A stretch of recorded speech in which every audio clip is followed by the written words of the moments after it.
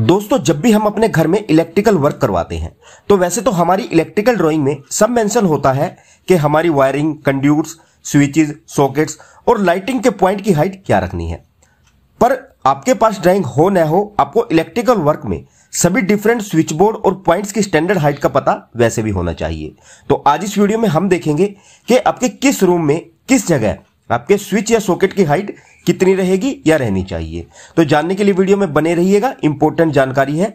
अगर आप अपने घर में इलेक्ट्रिकल वर्क करवाने वाले हैं या करवाने जा रहे हैं, और ऐसे में आप हमारी ये इलेक्ट्रिकल वर्क टिप की पिछली वीडियो भी ज़रूर देखिएगा, आपके बहुत काम आएगी। तो चलिए फ्रेंड्स आज की वीडियो शुरू करते हैं। दोस्तों, यहाँ मैं आपको सभी हाइट बॉटम फ्लोर यानी कि फिनिश्ड फ्लोर लेवल से बताऊँगा।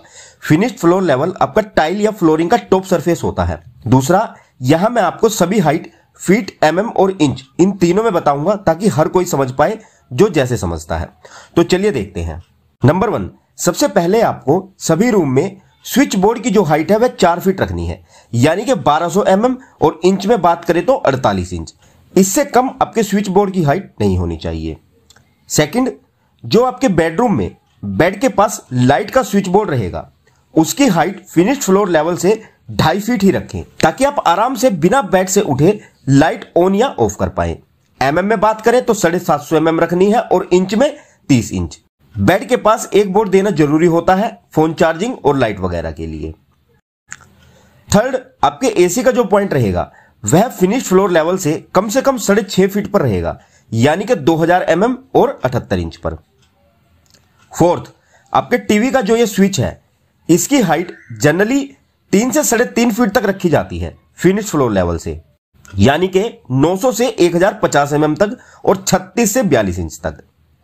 फिफ्थ आपकी जो ट्यूबलाइट की हाइट रहेगी फिनिश फ्लोर लेवल से, वो साढ़े छह से सात फीट तक रहेगी। यानी कि 1950 एम mm से 2100 एम mm तक और 78 से चौरासी इंच तक। बाकी ये डिपेंड करता है आपकी सीलिंग हाइट पर। नंबर सिक्स जो आपका पावर बोर्ड रहेगा, भारी इलेक्ट्रिकल उपकरण चलाने के लिए। उसकी हाइट फ्लोर लेवल से दो फीट रखनी है, यानी कि 600 सौ mm और 24 inch number seven telephone point की हाइट आपकी तीन फीट होनी चाहिए, यानी कि 900 सौ mm और 36 इंच नंबर एट अब आपका जो बाथरूम में गीजर का पॉइंट रहेगा, उसकी हाइट एक तो छह से सात फीट यानी कि 1800 से 2100 सौ mm और बहत्तर से चौरासी इंच तक रखनी है। दूसरी बात, गीजर का पॉइंट देते हुए यह ध्यान रखिए कि यह पॉइंट आपका, आपके सोवर से हटकर हो और शोवर के सामने वाली दीवार पर तो बिल्कुल भी ना हो, नहीं तो उस पर पानी गिरेगा। तो इस बात का भी आपको गीजर पॉइंट देते हुए ध्यान रखना है। नंबर नाइन, आपका जो किचन में आर या एक्वागार्ड वाटर प्यूरिफायर का पॉइंट रहेगा, उसकी हाइट आप अपनी कंफर्ट के हिसाब से डेढ़ से छह फीट तक रख सकते हैं, यानी कि साढ़े चार सौ से अठारह सौ एम और 48 से बहत्तर इंच तक, इसकी हाइट टोटली आपकी किचन स्पेस पर डिपेंड करती है। नंबर टेन, आपका जो फ्रीज का पॉइंट रहेगा, उसकी हाइट पाँच से छह फीट पर रखें यानी कि 1500 से 1800 सौ mm तक और 60 से बहत्तर इंच तक। नेक्स्ट जो आपकी ड्रेसिंग टेबल की लाइट होती है, उसकी हाइट कम से कम छह फीट होनी चाहिए, यानी कि 1800 सौ mm और बहत्तर इंच तक। नंबर 12 आपकी जो सीलिंग फ़ैन की हाइट होती है, वो फिनिश फ्लोर लेवल से 8 फुट 8 इंच से कम नहीं होनी चाहिए, यानी कि 2600 सौ mm से कम। नंबर थर्टीन है डोरबेल, जो घर के बाहर डोरबेल का स्विच दिया जाता है, इसकी हाइट आपको चार फीट से कम नहीं रखनी चाहिए, यानी कि 1200 सौ mm और 48 इंच से कम। यानी कि छोटे बच्चों का हाथ इस पर आसानी से पहुँचना नहीं चाहिए। नंबर 14 है आपके डोरबेल का स्पीकर, जो आप घर के अंदर लगाओगे।